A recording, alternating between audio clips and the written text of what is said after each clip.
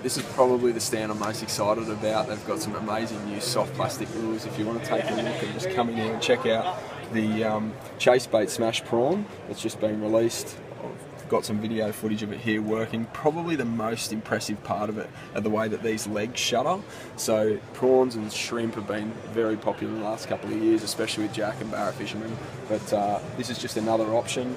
I've seen the shape very similar to that shape before, but nothing like the legs. So I don't know if the video captures it the best, but um, the legs are unreal when you get them working in the water. A little jig and it just kicks them on and they start working. Come over and have a look at some of the other stuff that they've got. So I've actually had a chance to swim some of this stuff. These bobbin frogs are unreal. They're really soft and just hollow through the centre. The little legs on the back sit very realistically in the water.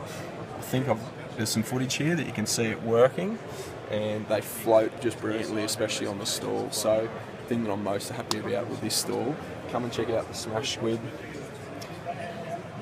just dropping them down beside pylons or if you're working out in the reefs and that sort of thing, they're going to smash jewfish. I'm keen to try them on mangrove jack, but snapper are going to belt these things. All your reefies are going to smash them.